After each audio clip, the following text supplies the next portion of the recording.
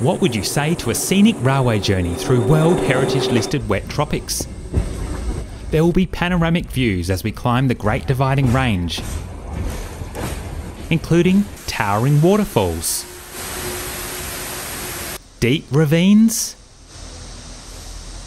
and impressive bridges dating from the 19th century. Our destination is a village in the rainforest featuring a charming railway station decorated with colourful plants.